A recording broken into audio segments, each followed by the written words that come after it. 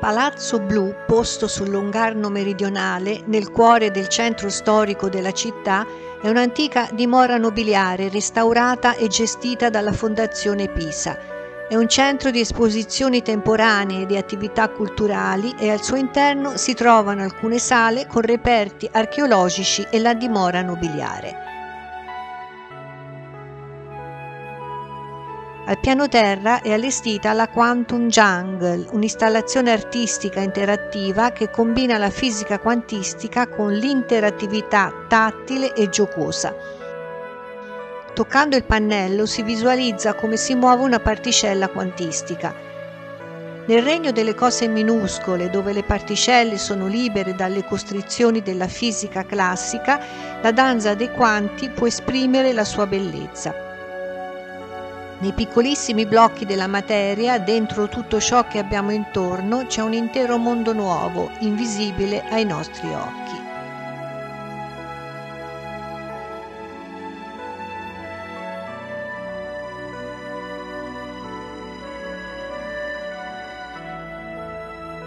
Nelle tre sale situate nel sottosuolo di Palazzo Blu si trova un'esposizione archeologica permanente che illustra la storia di questo complesso architettonico e del suo contesto insediativo a partire dal 1000, quando la città alto medievale crebbe sulla sponda sinistra del fiume nell'area chiamata Oltrarno e si sviluppò il quartiere di Kinsica.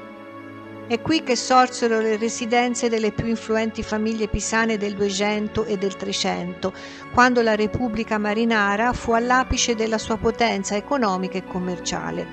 Ed è ancora in questi spazi trasformati in ampi palazzi che trovarono dimora molte nobili famiglie di origine pisana e poi fiorentina, quando nel Cinquecento la città e il suo territorio furono incluse definitivamente nello Stato mediceo.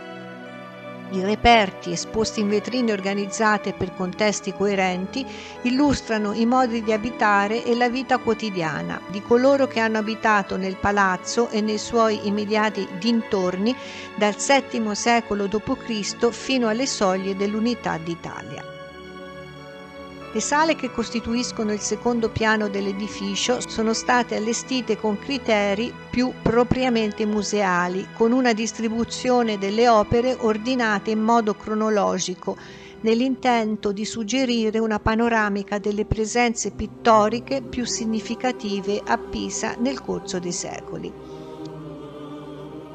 I dipinti qui presenti provengono in buona parte dal ricco patrimonio già di proprietà della Cassa di risparmio di Pisa, che nel corso degli anni è stato integrato dalla Fondazione Pisa con un piano di acquisti mirato ancora in atto.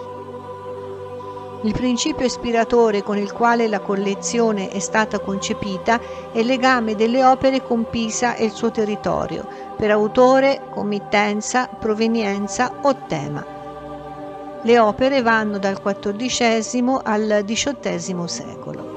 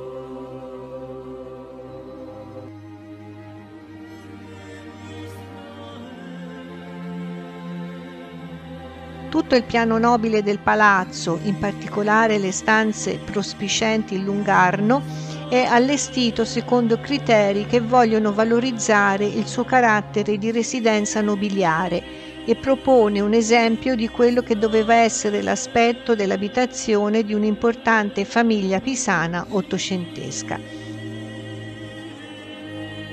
Le sale con decorazioni pittoriche che vanno dalla metà del Settecento al primo decennio del Novecento sono arredate con mobili di varie epoche, secondo il gusto eclettico del tempo. I mobili provengono dalla famiglia Giuli, ultima proprietaria del palazzo, dalle raccolte Simoneschi e da altri palazzi nobiliari toscani e creano, come nella sala della musica e nella sala da pranzo, ambienti di grande suggestione. I dipinti che completano l'arredamento sono stati scelti tenendo presenti i gusti dell'epoca, ispirati dalle tradizioni locali e dalle ambizioni di famiglia.